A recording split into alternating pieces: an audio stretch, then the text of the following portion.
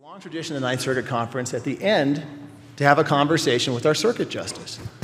And our circuit justice is Elena Kagan. We last heard from her in 2019 in Spokane. Now, you know, not a lot has happened since 2019.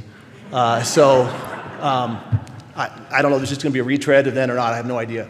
Uh, but obviously, we're very lucky to have her. Thank you so much for making the trip. I'm going to do some brief introductions and I'm going to get out of the way. Uh, of course, we have our Chief Judge, Chief Judge Murguia on stage here. We have our program chair, Judge Mike Simon from Oregon, who has the, I don't know, good or bad task of my job next year. And we have Doreen Hartwell. Uh, Doreen is a civil litigator in Las Vegas for 20 years, and she is the chair of the Lawyer Representative Coordinating Committee, sometimes called the LRCC. It's probably seemed like 20 years because uh, she's been on it during this entire COVID period. And so, with that, I'm going to get out of the way, and actually, I'll turn it over to you, Chief. Thank you. Thank you, John.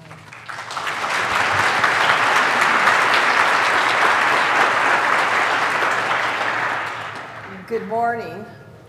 Justice Kagan, thank you for being here. It's an honor. Pleasure. Have, it's an honor to have you at our conference, and we very much appreciate that you've agreed to answer a few questions here this morning. I think I'll go ahead and start uh, first. Um, you know, COVID forced our court to change how we conducted oral arguments. I know the Supreme Court had to change its procedures as well. Uh, can you walk us through your changes and whether there are any changes that you would like to see going forward? Uh, sure. Well, we've been through um, a number of stages by now. Um, for the, the, the first year, we really just shut down the courtroom and we did oral arguments in the way that I know many courts did um, uh, remotely. Uh, in our case, we didn't even do it by Zoom. You couldn't see our faces. We did it um, telephonically. We, were all, we all got um, sophisticated telephone equipment to put in our houses, and, um, and we did argument from there. Of course, there are nine of us, and generally we have a very free flowing argument um, uh, you know, where everybody interrupts everybody else, um, the, both the, the lawyers and the judges. We couldn't figure out how that would work. I mean, we thought it couldn't work um, when we couldn't see each other uh, and when we weren't in the same building uh, or in the, same room. Uh, so instead, we um, just used a system where each of us got a few minutes. Sometimes it was three, sometimes it was four, sometimes it was five and we went down the row in order of seniority. Seniority is kind of the key to the way the court does everything. And so it would start with the Chief Justice, go to uh, Justice Thomas, who's the Senior Associate Justice, and then all the way down the line. Um, and, and so everybody would have their three or four minutes with the lawyer. And, uh, and uh, I'm trying to remember, it was so long ago. We had something, I think in, in the rebuttal, we just all agreed not to ask any questions. Um, so we got to the end of that year, and, and, the next year, we went back to the courtroom. We didn't open it to the public. We did open it to the press, people with press credentials. So basically, our, our, uh, the, the Supreme Court courtroom was filled with the press and our clerks, and that was kind of the audience. But we thought um, then the question was, you know, how should, should, should we go back to the old way of um, arguing cases. And we were very split on that, actually. Um, I hope this isn't giving away secrets. Don't tell anybody if it is. Um, some people really liked the new method that we had developed, the kind of one by one by one method. I think for two reasons. Um, because it was more sort of orderly, there was less interrupting, it was less of a free for all. Um, we gave the, uh, the, the, the lawyers had more of a chance to speak and to get their arguments across. Um, uh, and also, I think some people liked, uh, all of us liked actually, the fact that um, uh, uh, Justice Thomas was a very active participant in that way of, um, of, of, of, doing things. Justice Thomas really didn't like the free for all and didn't participate in it, didn't like all the interrupting. But when it was kind of like everybody had a turn, he became a very active and a very astute questioner and everybody liked that. So those were on the one hand. Um, and, and some people thought that that really dominated. Um, other people thought that there was a lot lost by the new method because, uh, so I'll just say that I'm one of those other people. um, uh, I thought that it was very stilted, that there was no real opportunity for follow up among justices, that sometimes um, uh, our most valuable moments at argument come from one justice following on another justice's questions and a kind of conversation among multiple justices and the lawyers, and that kind of conversation couldn't take place. And I felt as though um, I learned a lot less from argument than I had previously in the free for all system. Um, uh, so we talked about this at conference. Uh, and um, and it, it, it's actually a pretty good lesson in, uh, you know, we started off very uh, in opposing camps, and we devised a solution that we thought, well, maybe that will work for all of us. And, uh, and so the solution was that um, it would be sort of our general free for all, but then there would be um, two amendments to it. Um, the first is that um, if Justice Thomas wanted it, he would always have the privilege of the first question. Um, and, and that was not really a change in our practice because um, in prior uh, it, uh, years of the court's operation, there had been senior associate justices or almost senior associate justices who typically had taken the first question. So, for example, Justice O'Connor, when she was on the court, uh, everybody almost, uh, you know, almost always, everybody allowed her, deferred to her first question. And similarly, Justice Ginsburg almost always asked the first question on the court. So we just decided, well, uh, now it would be Justice Thomas. So, um, so he typically leads off, except when he doesn't want to. And then we sort of have the, you know, at a certain point, everybody just starts interrupting and asking their own questions, and we can do the typical building on each other and responding to each other. Um, but then we know that at the end of the argument, the Chief Justice is going to look at each of us and ask us whether we have anything further that we wish to ask. So if we couldn't get a question in in the free for all, we'd have another opportunity just when it was, it was uh, you know, me alone or any particular justice alone. And, um, and that actually helped a lot, even in the free for all section, because we didn't feel this kind of constant pressure to get our, our question in. Um, and so once that pressure was um, relieved, but the free for all was actually um, less of a free for all. It was less, um, it, was, it, it, it had the, the benefits of being able to follow up each other's questions, but it didn't have that sort of sense of like all of us tripping over each other to get a word in. Um, and then we could use our sort of last part um, to follow up on anything that we thought remained on the table. And I think honestly, um, all of us thought that uh, that was a better system than either the old one or the first pre COVID one. And um, of course, you know, we could change it again when we open up the courtroom uh, to the public. But, you know, frankly, I doubt we will because I think uh, all of us liked it quite a lot and thought that we had, you know, by virtue of necessity, um, created a system that was better than what had come before. Thank you. Just a, a follow up with that, with regards to once the Supreme Court opens up to the public again, do you think it will continue with the live streaming? So we haven't talked about this. I'm sure it will be a topic of conversation. The live streaming was a consequence of uh, closing the courtroom to the public. And so there might be arguments that once we open the courtroom to the public, you know, we should get rid of the live streaming. Be, uh, so go back to the old system. Um, uh, I personally would prefer to keep the live streaming. I think the live streaming has worked very well and, uh, and, and we've seen no problems with it, but I only get one vote of nine. okay. So, as you're, you're probably aware, public confidence in the Supreme Court has kind of reached a, a low recently. What can we, as lawyers and judges, tell the public with regards to the Supreme Court and the level of confidence that currently we have? Yeah.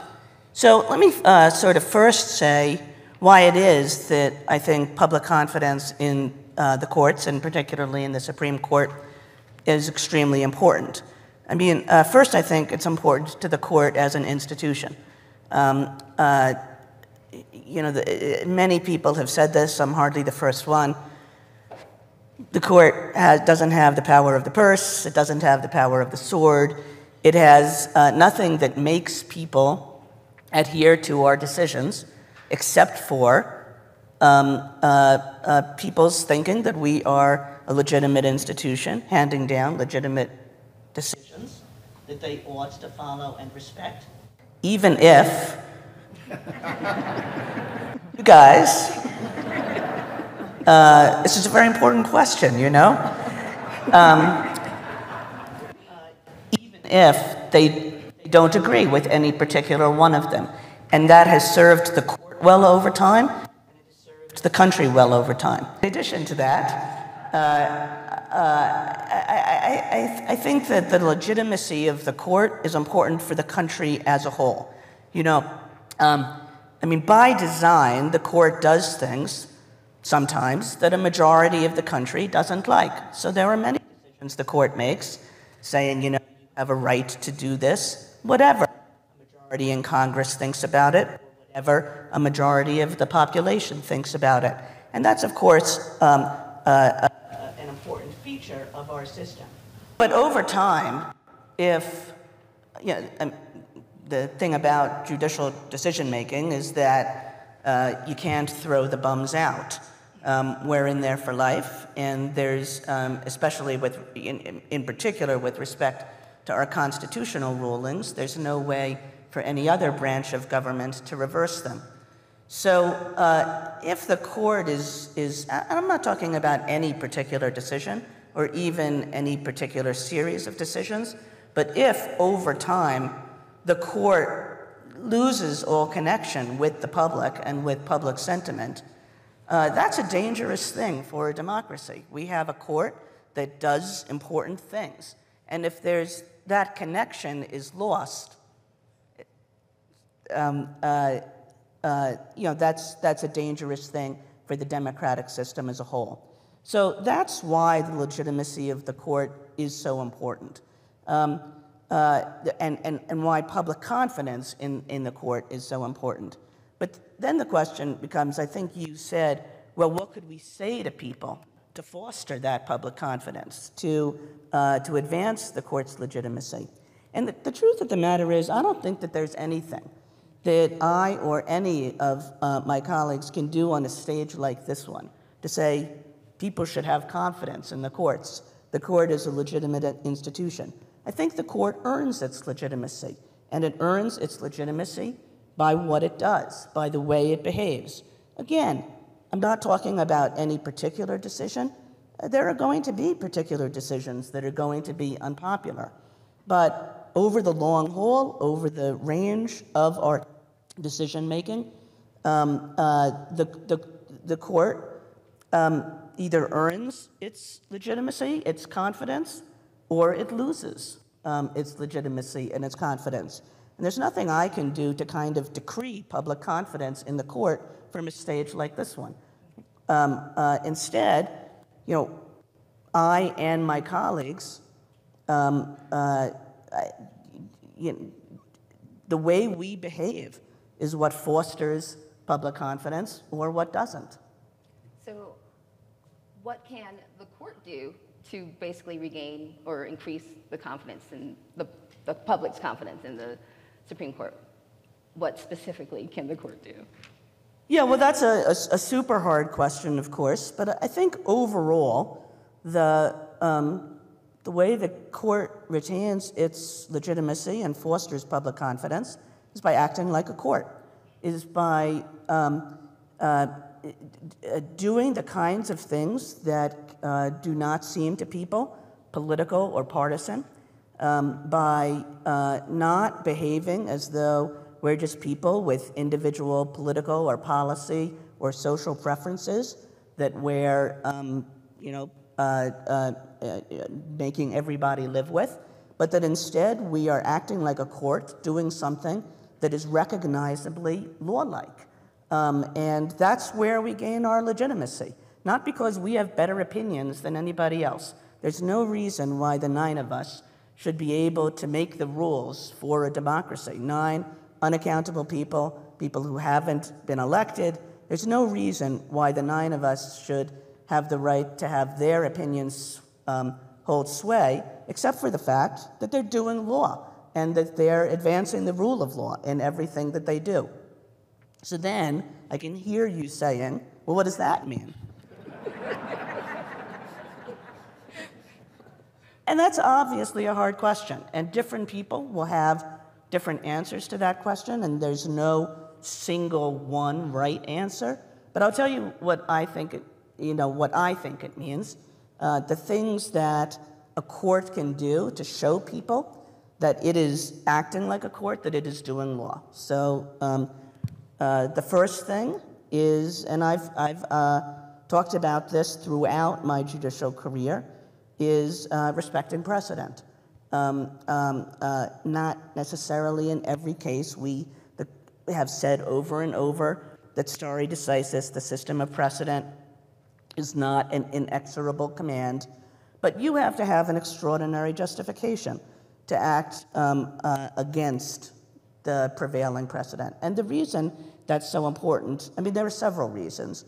One is that uh, that is what prevents just changes in the composition of the court from having from producing changes in our law. I think people are rightly suspicious if uh, you know one justice leaves the court or dies and another justice takes uh, his or her place, and all of a sudden the law changes on you. It's like, what's going on here? That doesn't seem like law. And uh, uh, precedent prevents that from happening, um, an adherence to precedent. And an adherence to precedent also ensures that like cases are treated alike, an incredibly important principle of law. So I would say the first thing is uh, adherence to precedent. I would say the second thing is um, consistent application of methodologies that uh, constrain and discipline judges. Um, you know, if you look over history, there have been times where judges have been unconstrained and undisciplined and have just attempted to basically enact their own policy or political or social preferences. And that's not the monopoly of judges uh, that are appointed by one party or another party. It's happened on both sides.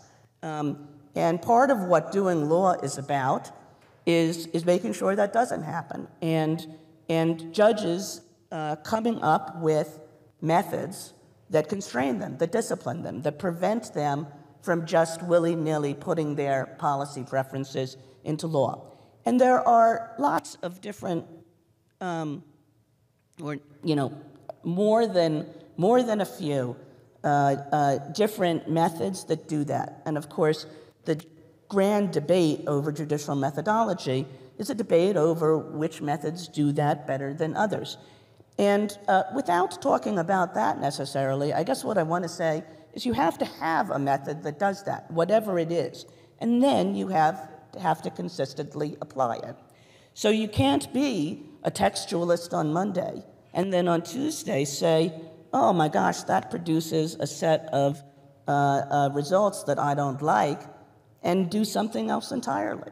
And you can't be an originalist and then say, well, originalism changes in what we look for and the way we apply it in one case to the next case to the next case.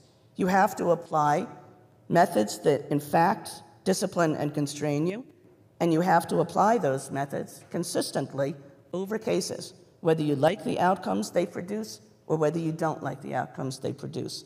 So I think that that's the second thing it means to do law. And I think that the third thing it means to do law, and not politics, and not policy, and not just individual preference, is um, has to do with the pace of change and with the scope of decision making. So, you know, the Chief Justice is very fond of quoting um, a statement from Judge Friendly, whom he clerked for. And the, the, the statement goes something like this If it's not necessary to decide something, then it's necessary not to decide something. And, uh, and that's an extremely important principle for courts, so that they don't just wander around the world saying, you know, we wish this were different, we wish this were different, and let's make it so. Uh, instead, that uh, judges keep to the straight and narrow and decide only the questions that really need to be uh, decided, only the questions that really are before them. So I would say that those three things are what makes a court stay a court. I mean, a court is, you know, it's called a court, but a court can do law or a court can do something else. I would say, and, and again, this is a hard question. There are other answers to this question, but it's my view that what it means for a court to do law is to follow uh, those three things uh, above all um, uh, and, um, and to sort of, you know, do them when it's convenient and do them when it's not. Just,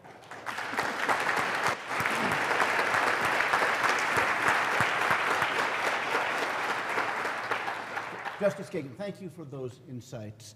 Um, now, can we turn more to application of that to you personally? Can you tell us a little bit about how you go about preparing for an oral argument? Once the argument is over, how do you go about deciding a case, writing an opinion? Maybe if you're willing to share, what use do you make of law clerks? Uh, okay, I mean, I think that probably the answer to that question, there are as many answers as there are judges. It's, it's, um, it's a very personal thing as to, you know, how you learn a case and how you decide a case and then how you write an opinion if the opinion is yours to write. I, re- I remember that um, my first year on the court, um, I had, um, I was lucky enough to have three clerks, three of my four clerks. The fourth was great too, but the three had a certain kind of experience that the fourth didn't have, which is that they had all clerked for prior justices, which is a, a, a thing that most new justices do, have at least one and maybe more uh, clerks who have uh, served on the court before, so can instruct the new person about the court's procedures and about anything else. And I had um, a clerk from who had um, uh, served for Justice Breyer, a clerk who had served for Justice Ginsburg, and a clerk who had served for Justice Kennedy. And um, every time we would get to a kind of decision, you know, like a decision about how to make a decision, I would say, well, how did they do it? And I would um, have three people tell me entirely different things. And, and so I would sort of listen to them, and then I would say, well, why don't we choose that one? Why don't we do it that way? And uh, sometimes I would be happy with my choice. And other times we would sort of do it that way, and I would think, that is the worst way of doing things, you know? Uh, so my first year on the court, you know, unlike my colleagues, I'm the only person on the court who did not serve as a judge before becoming a justice. So I spent my first year sort of figuring out the answer, my answer to these questions of how you decide things, how you learn a case, how you um, uh, write an opinion. Um, uh, I, I, guess the, the, the, the, the, the process I use, um, uh, I learn by talking and by listening. I mean, uh, writing is good, and uh, I ask for pretty short bench memos from my clerks. Um, uh, I, I, read the bench memos after I read the briefs. Um, I, I, don't typically use them as a way of learning about the arguments in the case. I typically use them just as a way of getting one person's take on a case. But the other thing that the bench memos are useful for, and maybe the more important thing, is that the other clerks all read the bench memo rather than you know every clerk having to read every brief in every case the other clerks all read the bench memo that one clerk has written and, um, and then we just sit around a round table and we talk about the case. And that's the way I learn. I, I, I learn by uh, hearing what I say and deciding whether I think it sounds right, um, by arguing with people. And very often I'll play devil's advocate and then I'll say, did that sound right or did that sound wrong? And of course, I'll listen to them and, and, and try to figure. And, and I, I like to have clerks who don't agree with each other on everything.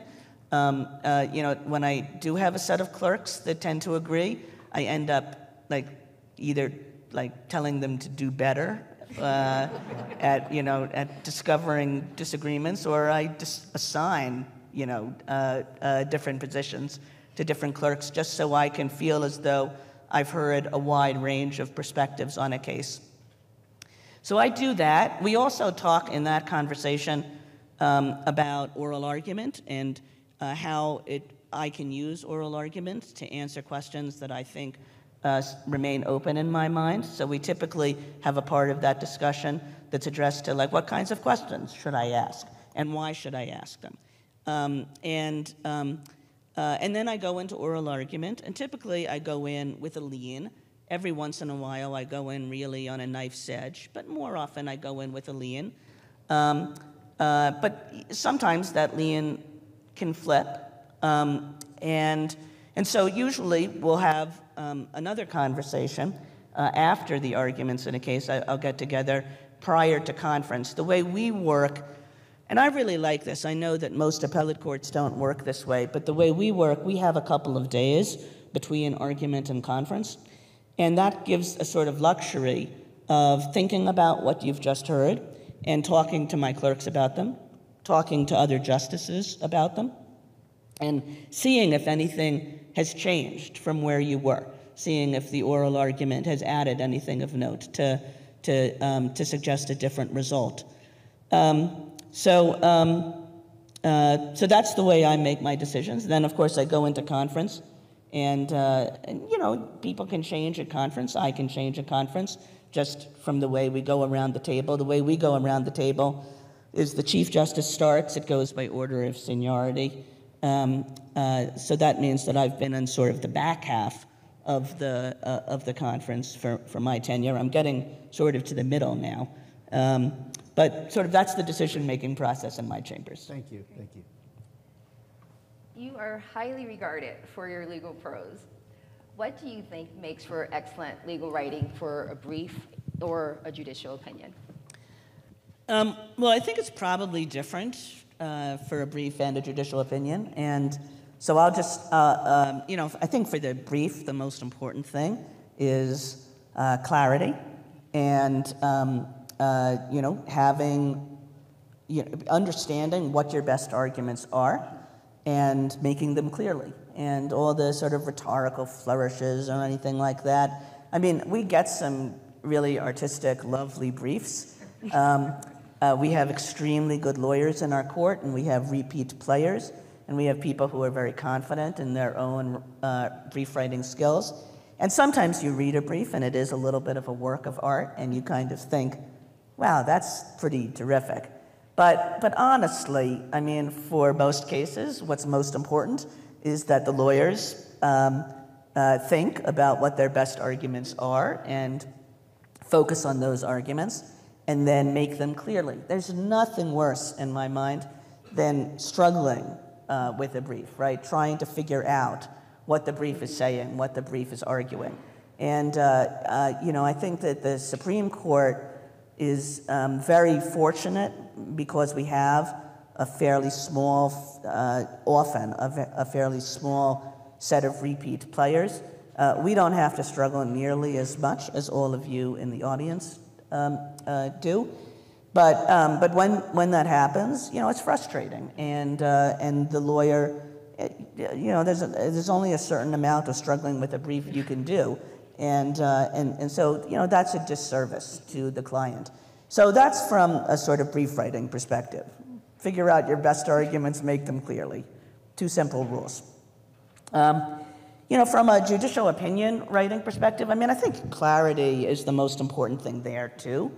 Um, and, you know, clarity and focus is, you know, super important for judicial writing as well. I mean, I think that the best uh, judicial writers, you know, if I think about who on, on the court, like I would think of as the best judicial writers, you know, they all have personal styles, and, and, and they have styles that differ from one another.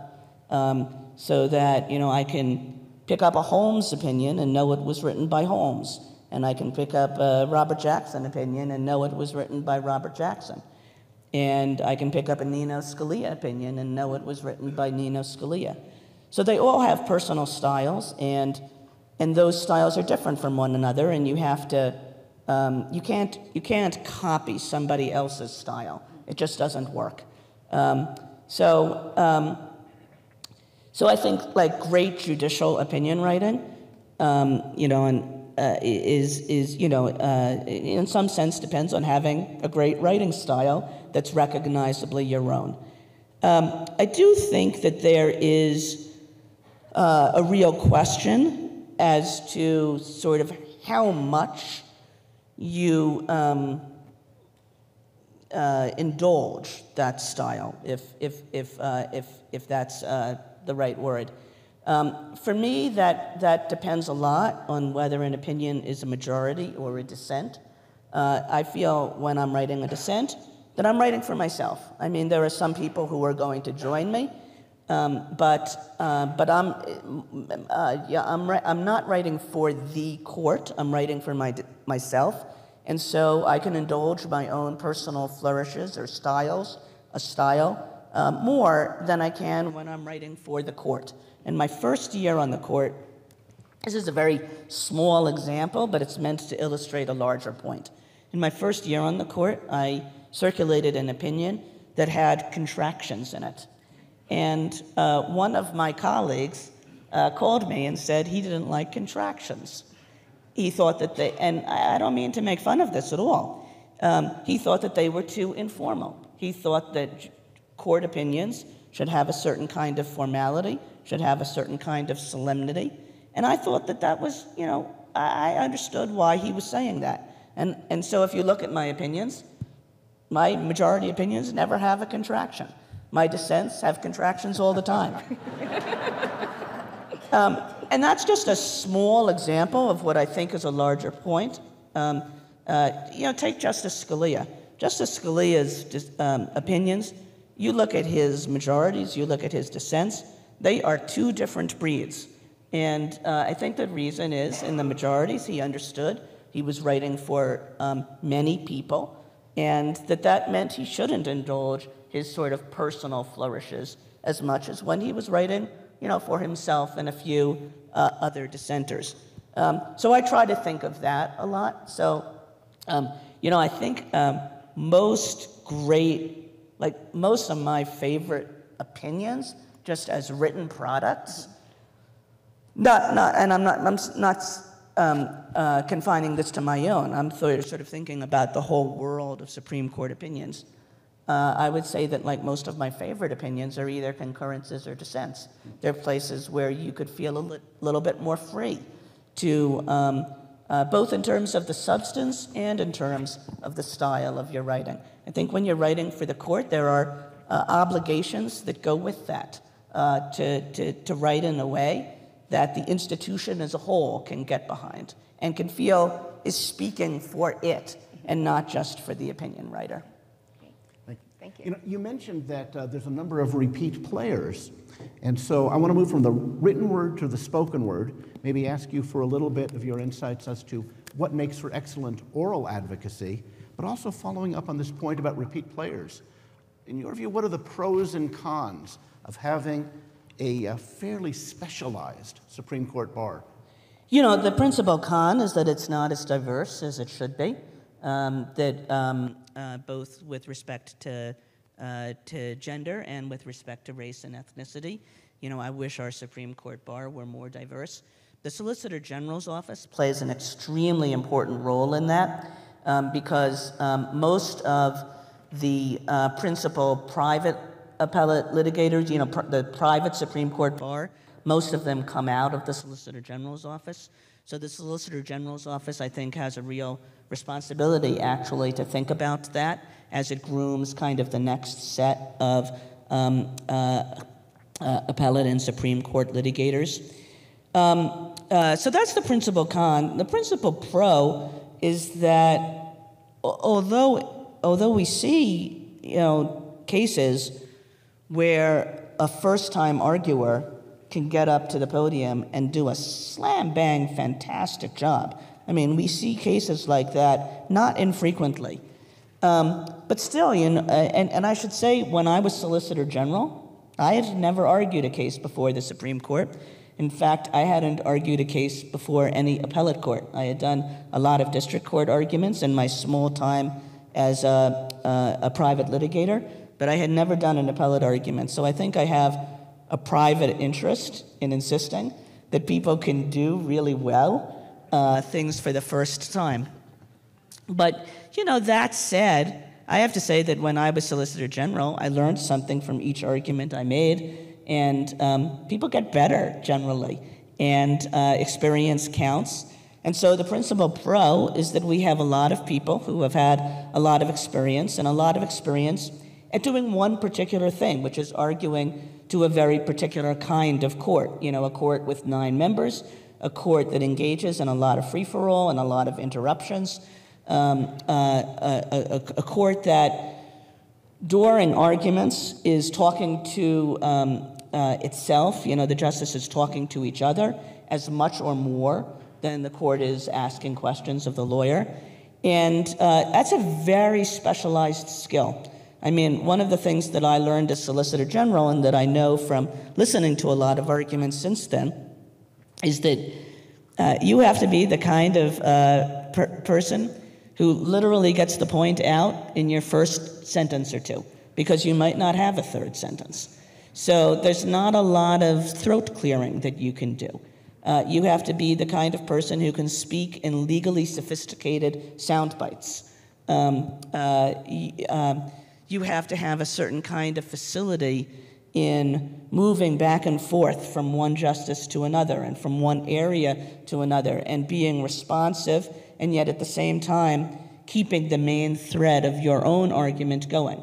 Those are very hard uh, things to do, and the more people do them, the better they get. Um, uh, so, so I think the pro is uh, we are privileged to have really excellent lawyers appearing before us, um, and excellent and experienced lawyers all the time.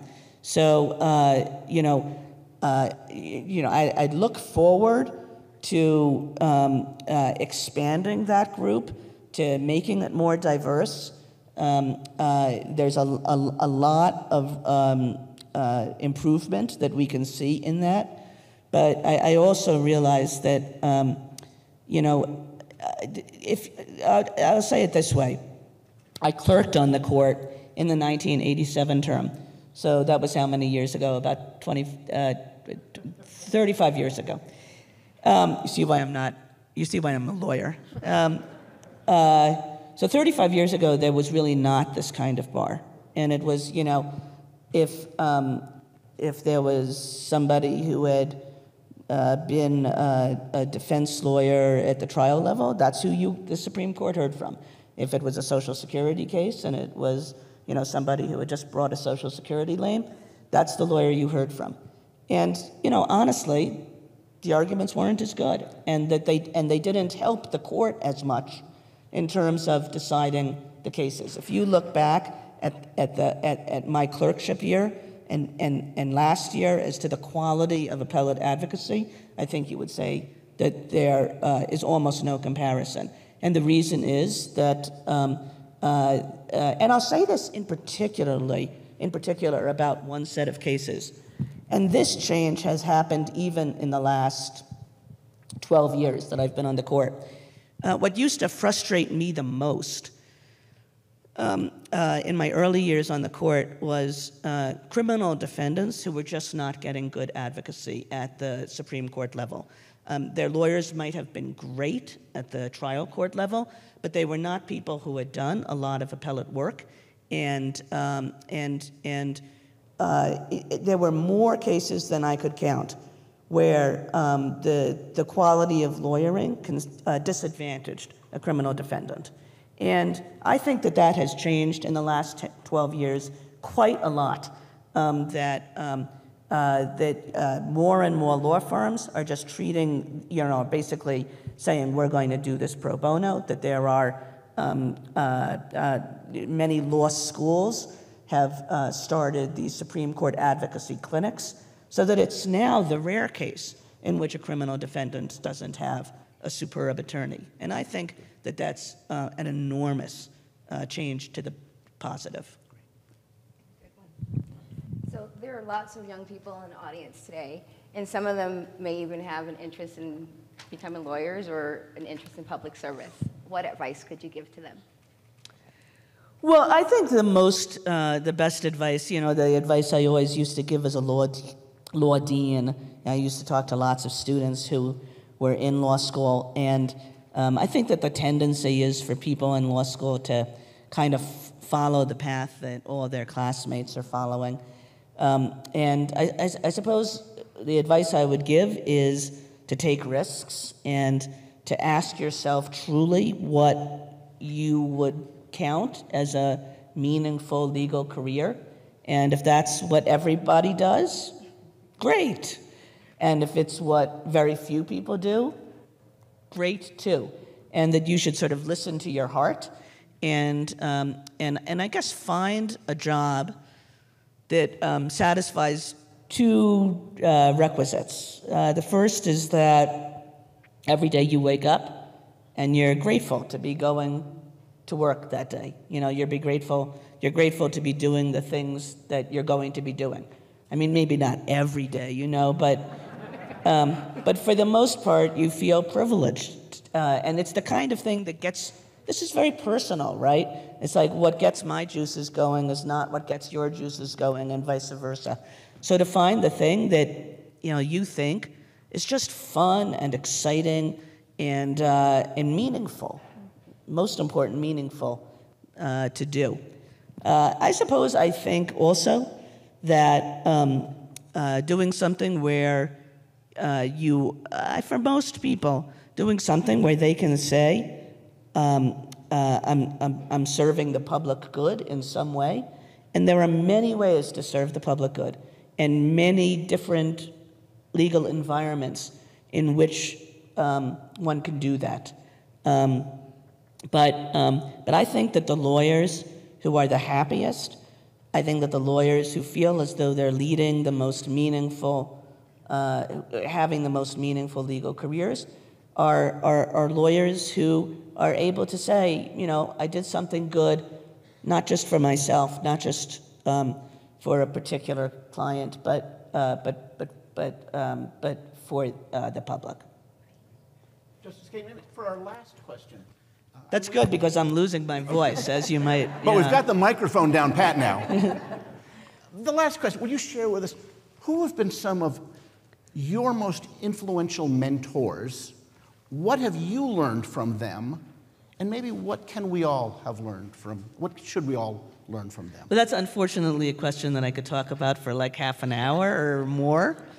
Um, uh, I mean, I guess um, uh, my two most influential mentors, although I've been lucky enough to have uh, mentors at pretty much every stage of my life and my career, but, um, but then my two most influential were the two judges I clerked for. And, you know, I try to think about that in, in relating to my own clerks. I try to think about the important uh, things that um, the judges I worked for did for me and, and you know, to, to pass it on a little bit, not nearly as much as, uh, as I was the beneficiary of it, I'm afraid. Um, I clerked for two amazing judges. One you, um, everybody in this room uh, knows a lot about. Uh, one I'll bet very few people know a lot about. So I'll start with the one you don't know a lot about. Um, uh, who was I, I, I clerked right out of law school on the D.C. Circuit for Abner Mikva. And he was um, a, a person, he was a person of many gifts. He was uh, a person who, by the end of his career, could say that they, he had served, you know, really at um, an extremely high level in every branch of government.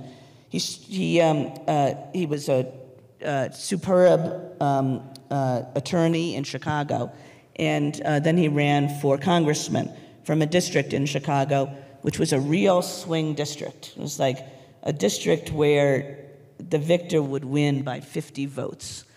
Um, uh, and uh, so sometimes he lost, and then he would run again, and he won. So he had several interrupted terms in Congress uh, representing this district. He was a fantastic congressman um, uh, and a, a fantastic politician. Uh, who nonetheless lived life on the edge, you know, always thinking that he could lose his seat. And when Jimmy Carter asked him to go on the DC circuit, he thought that the job security seemed like a good thing. Uh, but he also he was he was a fantastic lawyer. You know he was um, you know from the very beginning he was editor in chief of the University of Chicago Law Review. He was a very gifted attorney in Chicago. Uh, uh, uh you know, doing some very important cases So he was a man of multiple talents. And when he got to the bench, he sort of took off the politician's hat and he put on the judge's hat. And um, I think he was pretty, a pretty perfect DC Circuit judge because he understood backwards and forwards how government worked. Uh, he had seen it from the congressional side, and uh, if you sort of figure that in the DC Circuit, a very large part of the caseload is about how agencies work and what Congress is doing, um, uh, he had a kind of intuitive feel for that that I learned an, an, enormous amount from. And he was one of the world's great human beings. Um, uh, uh, you know, he was he was generous and warm and sort of open-hearted. And uh, when it came time to you know, help his clerks get jobs, he picked up the phone. Um, I am quite sure I would not have started teaching at the University of Chicago had he not helped me get that job. Um, and, uh, and that when I got tenure at the University of Chicago, and then he called me and said, Come back and work for me again, because he had left his seat on the bench and uh, moved to become counsel to President Clinton. And he said, Come back and work for me in the counsel's office. So, um, so I did that, and I got an incredibly important experience in my own life in that way. So um, uh, he's a person I feel endlessly grateful to, both in terms of just the way I, I, I learned from his uh, judicial decision making and also you know, the way I benefited from his willingness to go to bat for people. So that's my first mentor. Um, really am losing my voice. Um, uh, my, my second is uh, Thur- Thurgood Marshall. Just, uh, I was um, lucky enough to go clerk for Justice Thurgood Marshall after I clerked for Judge Mikva. And it was really the most extraordinary year of my life. I mean, you know, I've, I've been lucky and blessed uh, to have, um, you, you, know, lots of important jobs. Um, I would say that the most extraordinary year of my life was the man was the year I spent uh, in his company. Um, uh, he was the greatest lawyer of the 20th century, I think, without a doubt. I don't think there's uh, anybody who comes close. Um, he was a an incredible lawyer. He was a person you don't see very often, um, who was um, at the top of the profession, both as a trial lawyer and as an appellate lawyer. Um, you know, he could come to the Supreme Court and do an argument, and then he could go to a little courthouse in Mississippi, uh, uh, you know, an all white courthouse other than him and the defendant, uh, almost always, and do an equally superlative job in both places. Um, uh, so he was, you know, just, uh, and, and, and, and, and when he became a justice, and I think, you know, to be honest, he was one of the very few justices whose prior career is more important than his judicial career. But when he became a justice, that same ability to sort of look at a case and see to the heart of it, and see what's important, understand, um, uh, you know, the key question to ask about a case, that was is, it, is really, I think, in some respects, a trial lawyer's gift, skill. Um, uh, you know, uh, I learned a lot from that. Um, but he was also a great lawyer in, in maybe a bigger sense. Um, and when, you know, when I say somebody is the greatest lawyer of the 20th century, I think, I think it's got to be not just that he's a, he had great skills uh, in multiple courtrooms, but that he advanced justice the most. Um, and, and I think nobody comes close to him in that respect either, in, in, in, in terms of um, creating uh, a system in, um, a, you, you know, he was, he had lots of help from lots of people, um, uh, including his own mentor, Charles Hamilton Houston, and many people who worked for him. But if you say, you know, who was the lawyer who was most responsible, for uh, eradicating the Jim Crow system and creating an era of racial equality. Uh, he was the person who did that. And um, he was an, an, incredibly gifted storyteller. Um, he told lots of stories about lots of things, but he also, you know, among those things, he told stories about his own life. I, I clerked for him when he was nearing the end of his judicial career and nearing the end of his life. And uh, I think he was taking stock a little bit. And we heard every day, we would walk into his chambers and um, uh, uh, we would talk about the cases and do all the usual judge clerk stuff. And then at some point, he would segue and he would tell us stories uh, um, uh, about things he had seen, about things he had experienced, about things he had done. And um, so I feel, I feel as though that year I got an education in judicial decision making in the way that all Supreme Court clerks do. But I also um, uh, got a year where I learned about uh, lives I uh, had no experience with. Uh, you know, I was um, you know a fairly privileged person from a fairly privileged background, and um, uh, just listening to Thurgood Marshall talk about the clients he had represented, talk about the changes he had seen, talk about um, uh, his own life and how it had um, come to pass. Uh, I mean, you know, it's like getting a lesson in justice, right? And, um, and uh, so I will be grateful to the end of time for that. Thank- Thank you. Um, It is an honor to have you here at our conference, and we feel quite privileged to hear your thoughts here today. Would you all help me, and join me in thanking Justice Justice? Thank you very much. Thank you.